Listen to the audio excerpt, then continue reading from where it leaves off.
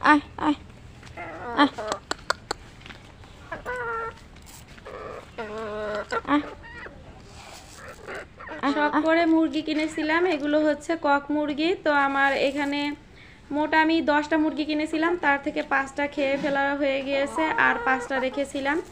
চারটা ছিল মুরগি আর একটা মোরগ ছিল। মোরগটা কিন্তু খুবই বড় ছিল আর এই মোরগটা যেহেতু এখন বৃষ্টির সিজন শিয়াল থাকে বেশি এই শিয়ালে হয়তো মোরগটা খেয়ে ফেলেছে এখন এই চারটা মুরগি আছে।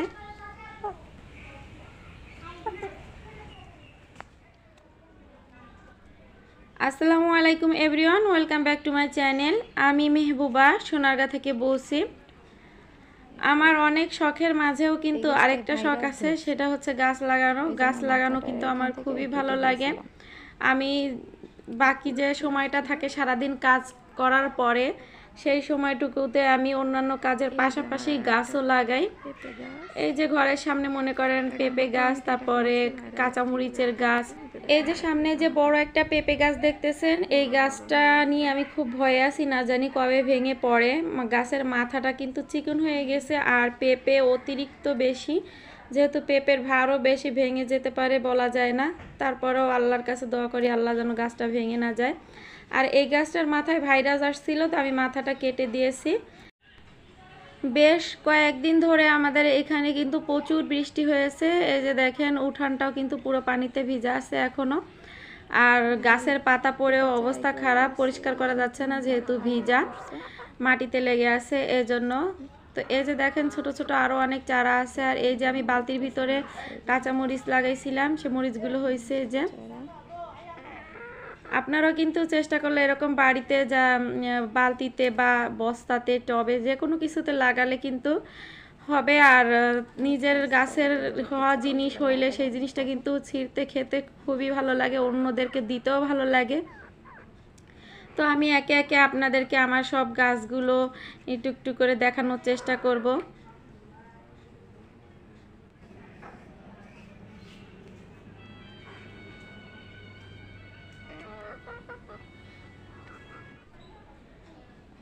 এই গাছটাও ভাইরাস ধরছে। তারপরে দেখেন এই যে ফুলগুলো, এগুলো কিন্তু পুরুষ ফুল। তো আমি কাটি নাই, আশা আছি যে আরেকটু বড় হলে মাথাটা কেটে দিব। মাথা কেটে দিলে অনেক সময় দেখা যায় পুরুষ গাছেও কিন্তু স্ত্রী ফুল আসে। এই গাছটার মাথাও আমি কেটে দিয়েছি। তারপরে এই যে আরেকটা পেঁপের চারা, এখানেও আরেকটা পেঁপের চারা আছে। এগুলো আসলে কি ওই যে প্যাকেটের ভিতরে লাগানো ছিল, আমি সময় পাইছিলাম না মাটিতে লাগানোর, এই জন্য এরকম কুকড়ে গিয়েছে। আর এই যে আরেকটা মরিচের চারা। আমার আরও অনেক মরিচের চারা ছিল, যেহেতু আমি একটু মুরগিও পালি, তো মুরগিতে মরিচের চারা করে কি খেয়ে ফেলে। তো আপনাদেরকে আমি দেখিয়ে দিয়ে দেখেন, এগুলো হচ্ছে পুরুষ ফুল। এগুলো হচ্ছে পুরুষ ফুল, এগুলোতে কিন্তু পেঁপে হয় না। তো এই গাছের মাথাটা আমি কেটে দিয়ে দেখব, তারপরে আমি আরেকটা ভিডিও বানাবো আপনাদের জন্য, যে এই গাছে স্ত্রী ফুল আসে কি না তো আজকে আমি আপনাদেরকে পুরুষ ফুলটা যে চিনিয়ে দিলাম। এটা কিন্তু আর একটা মরিচের চারা তো এই চারাটাতেও মরিচের ফুল আসছে মরিচও আসছে। এই যে দেখেন ফুল কিন্তু আসছে।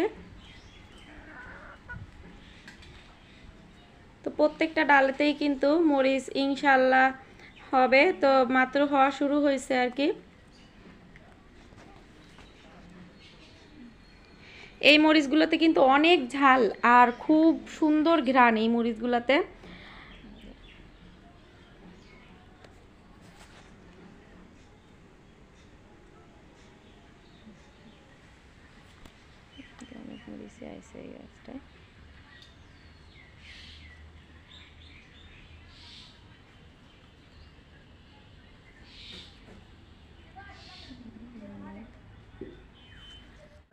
মরিচে। এটাও কিন্তু আরেকটা চারা। এই যে দেখেন, এই গাছেও কিন্তু মরিচ আসছে। একদম টাটকা, ফ্রেশ মরিচগুলো গাছের, দেখতে খুবই ভালো লাগে আমার কাছে।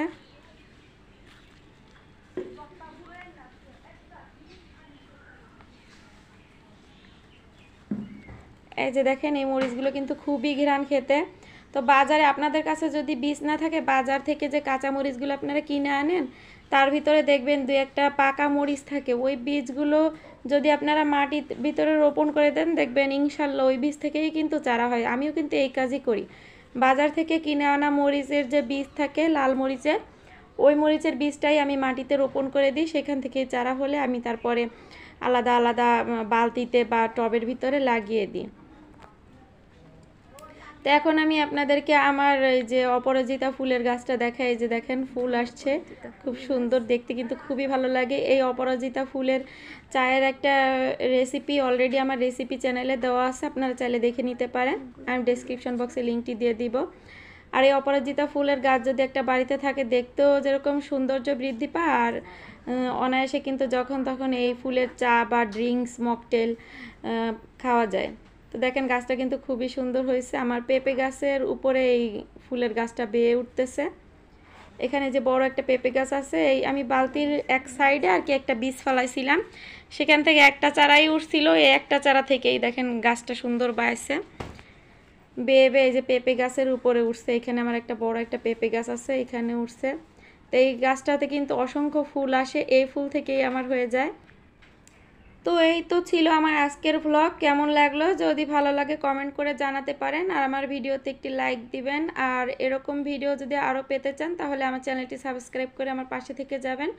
দেখা হচ্ছে তাহলে পরবর্তী কোনো ভিডিওতে ততক্ষণ সবাই ভালো থাকবেন। আজকের মতন এখানেই বিদায় নিচ্ছি। আল্লাহ হাফেজ।